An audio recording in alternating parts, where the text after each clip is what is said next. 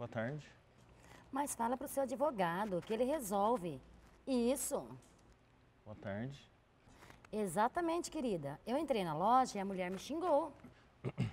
Boa tarde. Só um minuto, Mariana. O que, que foi? É, boa tarde, tudo bem? Tudo bem, você já disse isso. O que, que você quer? Uma consulta. Ah, você quer uma consulta? Um momentinho, deixa eu ver se eu tenho uma na minha bolsa. Ah, que pena, não tenho.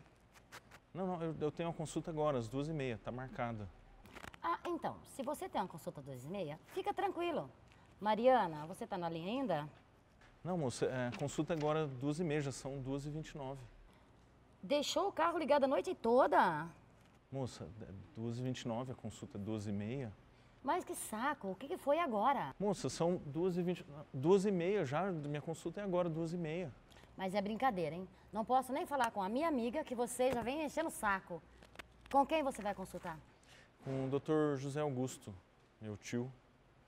Seu tio? E eu vou contar pra ele dessa nossa entrevista.